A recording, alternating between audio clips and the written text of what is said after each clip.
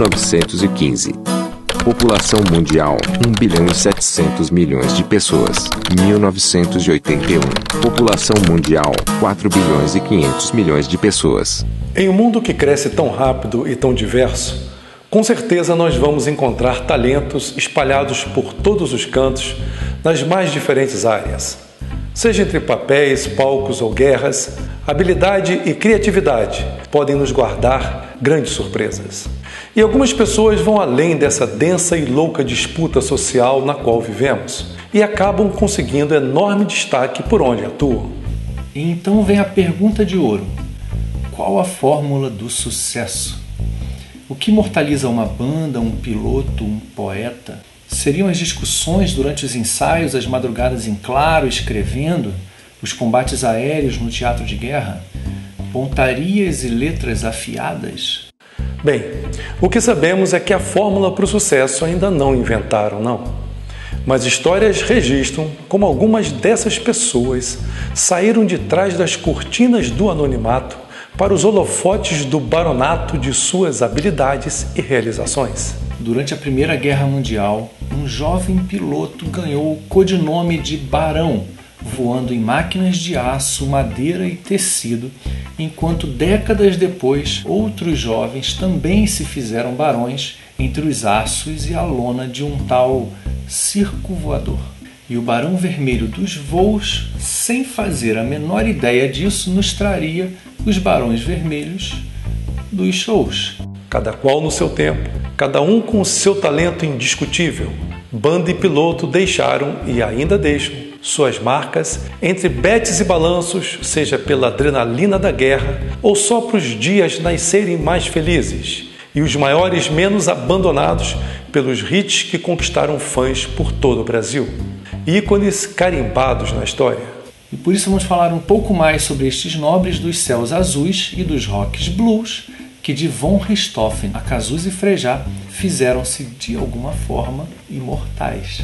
Revisitar os caminhos tortuosos de paixões, polêmicas, coragem e sucesso que eles trilharam para entender melhor sobre como meninos viram barões entre dores, amores, carne crua e puro êxtase. Eu sou Marcos Abreu. Eu sou Alex Abreu e esse é o Histórias Angar Café. Aviação Música.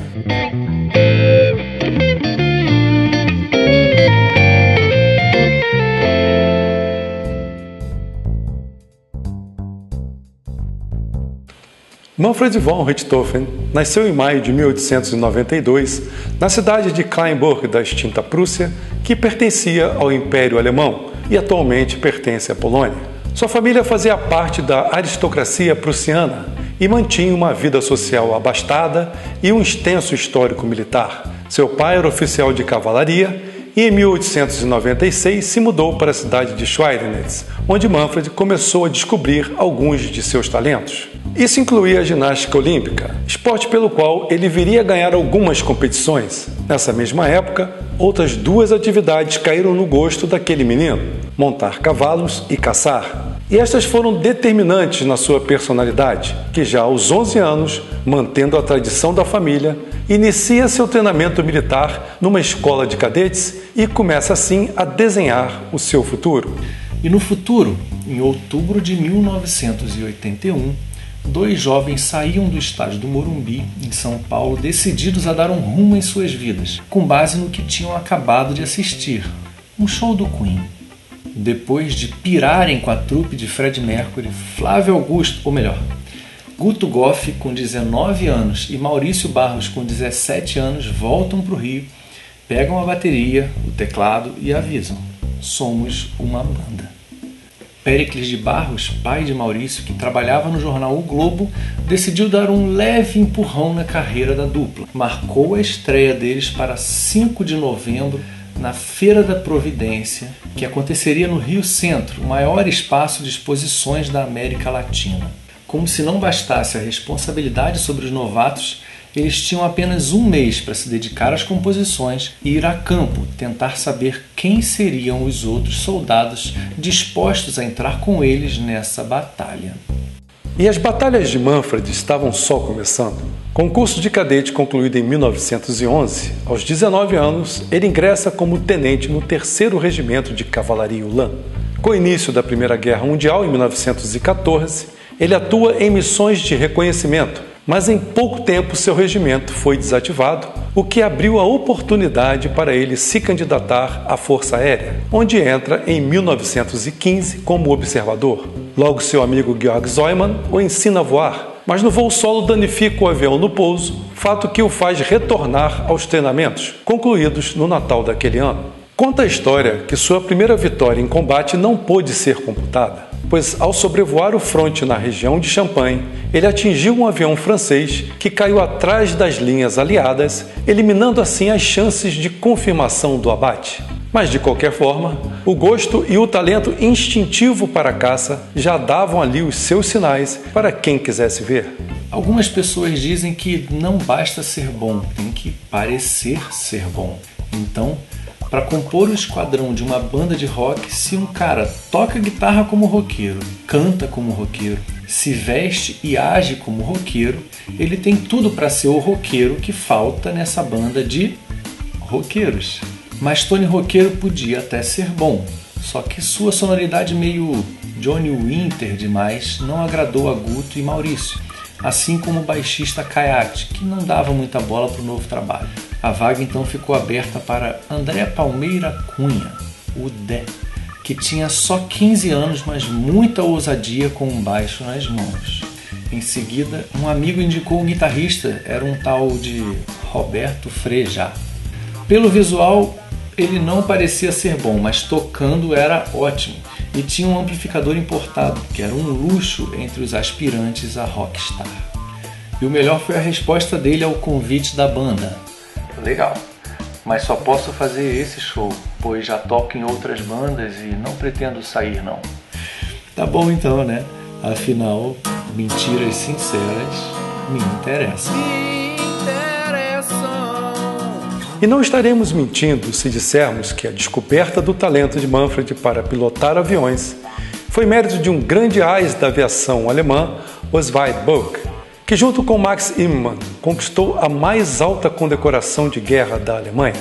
Após a morte de Immann, Bock formou dois esquadrões de caça, Yasta 1 e 2, recrutando Manfred para o Yasta 2, onde conquistou sua primeira vitória. Em 17 de setembro de 1916, o esquadrão entra em ação pela primeira vez. Logo na estreia, oito aeronaves inimigas foram abatidas, uma delas por von Richthofen, que dessa vez teve a vitória reconhecida.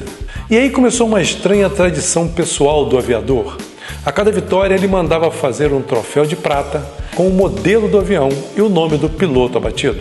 Isso foi feito até sua vitória de número 60, mas seu mentor Bolk não viveria para ver as vitórias do pupilo, pois um mês depois dos esquadrões iniciarem as atividades, ele perde a vida em uma colisão aérea, fato que foi testemunhado por Manfred. As mortes dos premiados Bulk, que tinha 35 vitórias reconhecidas, e Ilmerman, com 15, deixaria a cargo de von Richthofen assumir o papel de principal ás dos ares germânicos e com 16 vitórias reconhecidas, em janeiro de 1917 ele também recebe a Ordem do Mérito e é convidado a assumir o comando do seu próprio esquadrão, o Iasta 11, que já havia sido criado, mas até aquele momento não tinha conseguido nenhuma vitória.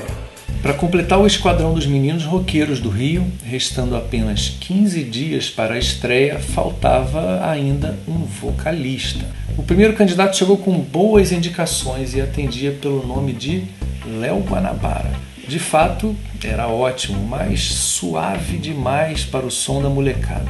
Por isso, Léo seguiu rumo e depois viraria sucesso se apresentando como Léo Jaime mas não sem antes indicar para assumir os vocais um rapaz que vivia no posto 9, era fã de Janis Joplin, fazia teatro, cantava e era filho do presidente da gravadora Som Livre. Naquela altura, os ensaios aconteciam no apartamento de Maurício e por lá apareceria para cantar um tal Araújo ou Cazuza.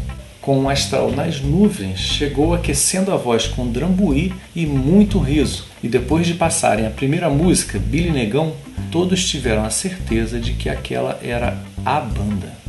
Por isso, sem medo, a Kombi partiu lotada para o recreio no dia marcado e chegando lá, assim como foi a dissolução do regimento de Manfred logo no início da guerra, a estreia dos rapazes virou uma frustração, pois o palco nem som tinha. Acontece, né? Mas apesar disso, todos perceberam que naquele grupo havia algo que valia a pena investir, pois era nobre a relação sincera que tinham construído. Batizada por Guto como Barão Vermelho, o nome da banda dividia opiniões. Para Cazuza, o nome era horroroso, mas como ele mesmo um dia cantou, me ame com amor ou não, afinal, todo mundo tem um ponto fraco. Com Frejá, ou seu Bro, Cazuza formou uma das mais importantes parcerias de composição da música brasileira. E com os vizinhos de Maurício ameaçando acabar a tiros com o barulho dos ensaios da banda, ele convenceu seu pai a liberar os estúdios da Som Livre para ensaiarem. Com essa ajuda, eles iam tocando em pequenos espaços da noite carioca até chegar naquele que um dia seria o principal palco rock do Brasil, o Circo Voador. Como comandante do IASTA 11, o próprio von Richthofen garante a primeira vitória da sua equipe, sua 17ª na carreira, em 23 de janeiro de 1917. Genial e metódico, ele ensinou suas táticas aos seus subordinados e exigiu que as estudassem e seguissem com rigor.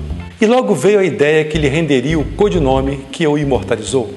Von Richthofen pilotava um biplano modelo Albatross D3 e decidiu pintá-lo inteiro de vermelho. Nitidamente vaidoso, ele até dizia que não havia um motivo especial para isso, mas também assumia que desta forma seria reconhecido de imediato, levando temor aos inimigos. Os pilotos do seu esquadrão decidiram pintar seus aviões de vermelho também, fato que ele permitiu, desde que o único avião completamente vermelho fosse o dele. Devido à sua família de origem aristocrática, que carregava o título de barão não tardou para que seu codinome começasse a ser conhecido por todos: Barão Vermelho, o inimigo número um dos aliados.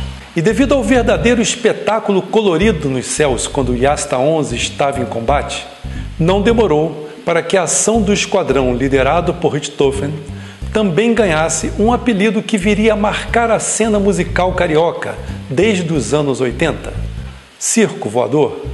Foi na lona do circo voador que, em 5 de fevereiro de 1982, o Barão Vermelho finalmente fez sua estreia para um público maior, de olhares atentos. Na sequência, com a confiança em alta, desejaram tocar no Noites Cariocas, um badalado evento produzido por Nelson Mota.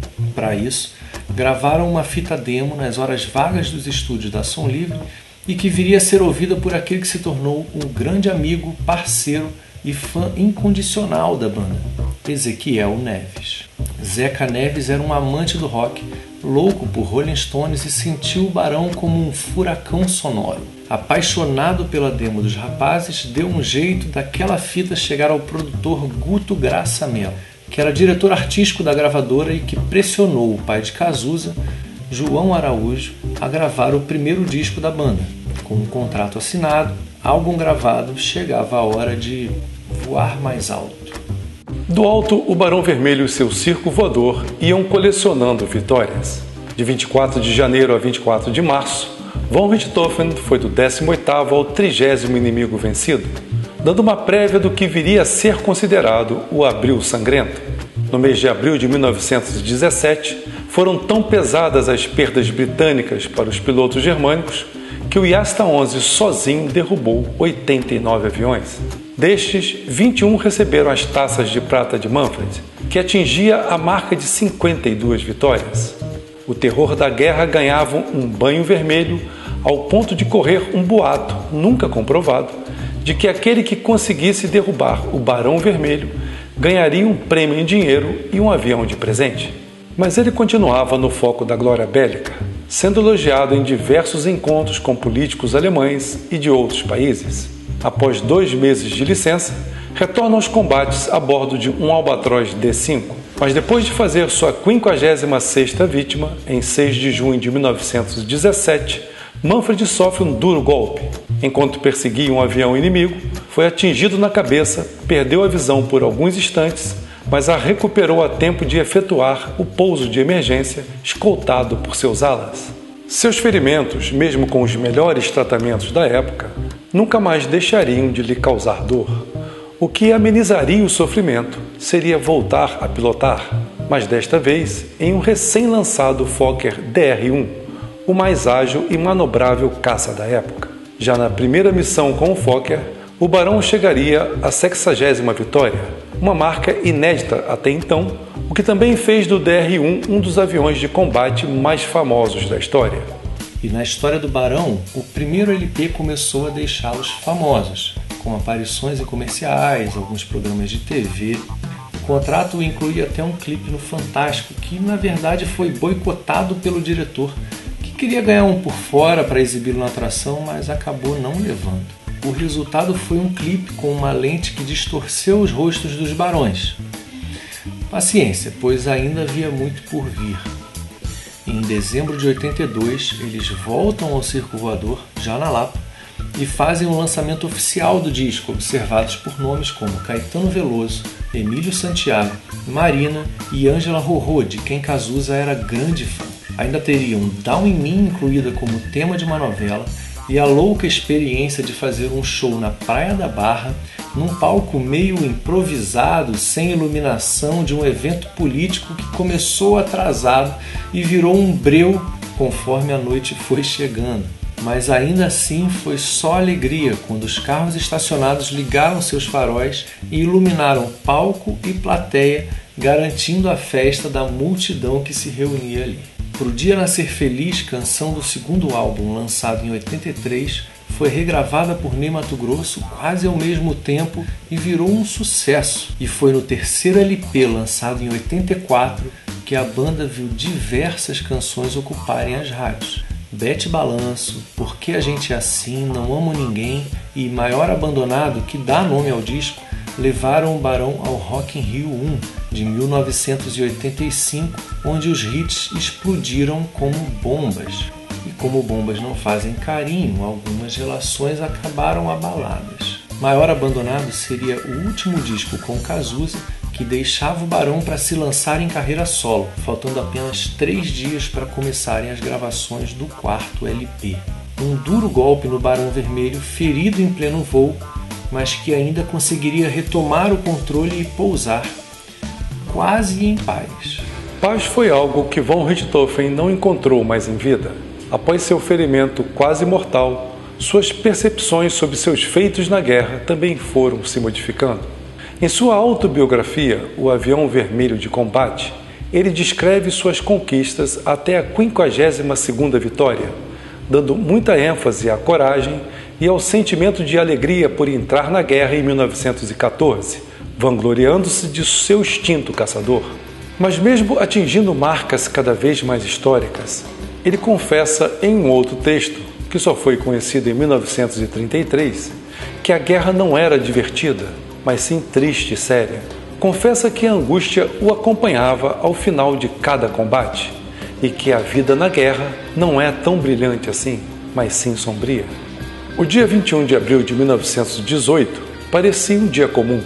Pela manhã, Richthofen mais uma vez embarcou em seu triplano e logo Fokker corria pela pista. Voando para leste ao longo do Vale do Somme, o barão logo avistou dois aviões ingleses e os caças alemães mergulharam para atacá-los. Ao mesmo tempo, caças ingleses Sopwith Camel surgem para defender seus companheiros e o combate aéreo se inicia. Como de rotina, Richthofen escolhe uma aeronave inimiga para atacar, desta vez pilotada pelo jovem piloto Wilford May, e coloca-se na cauda do Camel. Na tentativa de escapar do ataque, o piloto inglês mergulhou seu avião, mas o Barão Vermelho não saía da sua cauda. Declare Guerra era o título do álbum lançado em 86 que tinha na sua cola Exagerado o primeiro álbum solo de Cazuza, lançado logo em seguida ao do Barão e que acaba sendo a preferência da Som Livre. Sem clima na gravadora, os Barões assinam com a Warner para lançar rock em geral em 87, que fracassa em vendas enquanto vê em Cazuza voar livre como um grande artista e poeta, polêmico e provocador, que ganha o Brasil com o disco Ideologia, aclamado por sucessos como a faixa que dá nome ao disco e outras como Brasil e Faz Parte do Meu Show. A essa altura, o Barão vivia à sombra de seu ex-barão, que travava uma luta que o Brasil acompanhou quando ele descobriu ser portador do vírus HIV. E como se não bastasse, Maurício decidiu sair da banda, abrindo espaço para a entrada de mais um guitarrista e um percussionista. Fernando Magalhães e Peninha fincam suas credenciais para não saírem mais, e mesmo com apenas três integrantes da formação original, surge o disco Carnaval, em 88, colocando todo mundo para dançar ao som de Pense e Dance, que foi trilha de uma novela e levou o Barão a abrir os shows de Rod Stewart em sua turnê pelo país. Era a banda voltando a decolar após um período de quedas dolorosas. E para evitar o abate do avião perseguido pelo Barão Vermelho, que àquela altura já carregava a marca de incríveis 80 vitórias, o canadense Capitão Brown avista o Fokker de Manfred e mergulha atrás dele. Os três aviões passam pelas trincheiras da linha de frente a baixa altitude, com o triplano vermelho sob fogo cerrado de Brown e dos rifles de terra da tropa australiana, que controlava aquela área do Vale do Sono. As balas percorrem a fuselagem do triplano quando Richthofen se contorce no assento e cai para frente, mas ainda consegue chegar ao solo quase sem danos no avião. Para surpresa dos australianos, quando chegam na aeronave abatida, encontram Manfred morto, com uma única bala no coração. O Barão Vermelho dos Ares enfim descansava de suas angústias. Seus inimigos estavam agora no poder e eram eles que levariam pedaços de seu avião e até mesmo suas botas como troféu por vencerem o tão famoso piloto. Tão famoso e respeitado que foi enterrado com honrarias militares em território inimigo, até que anos depois conseguiram transferir seus restos mortais para seu país. Aos 26 anos, Manfred von Richthofen terminava a curta, porém talentosa carreira do nobre Barão Vermelho. E o Barão Vermelho, em 1990, perde o talento de Dé, substituído por Dade, mas ganha o reforço de Maurício, que volta aos teclados. Dade ficaria por pouco tempo e chegaria Rodrigo Santos. Ainda em 90, o Barão lançaria O Poeta Está Vivo no disco Calada da Noite, música que homenageia Cazuza, que estava perdendo a sua batalha para a AIDS. Em 7 de julho de 1990, com apenas 32 anos, o jovem Araújo se calaria em corpo, mas gritaria seu legado ensurdecedor na música brasileira, nos lembrando que o tempo não para, nem o seu talento. Sua morte precoce em nada combinava com o momento de renascimento da banda que ele ajudou a lançar e que juntou forças entre pedras, flores e espinhos para se consagrar como uma das maiores bandas do Brasil. Em 92, no Hollywood Rock, o Barão seria aclamado como a melhor banda do festival e ainda guardaria fôlego para lançar no restante da década álbuns estrondosos como Carne Crua e o seu hit reflexivo Meus Bons Amigos, álbum com releituras de músicas que literalmente podiam vir quentes, pois eles estavam fervendo, e puro êxtase, que fez muita gente dançar tango no teto por seus amores numa brincadeira que não tinha hora para acabar e que continua até hoje. Frejá e Rodrigo Santos já não figuram mais na banda, e quem assumiu os vocais foi um talentoso suricato, cuja fórmula do sucesso se desenhou a partir de um programa de TV. Mas isso já é outra história. Assim, a história nos mostra que quando o assunto é fabricar ícones, realmente não há regras, e o diferencial pode estar em cada detalhe, em cada palavra escrita, em cada batalha ganha, ou até mesmo perdida e num mundo que cresce tão rápido e tão diverso, com talentos espalhados por todos os cantos entre papéis, palcos ou guerras, as saudações são sempre para quem tem coragem. Afinal, o futuro é sempre duvidoso. Mas mesmo que a sua bet balance, se você souber o ponto onde quer chegar, isso facilita bastante a missão de, quem sabe um dia, se fazer imortal.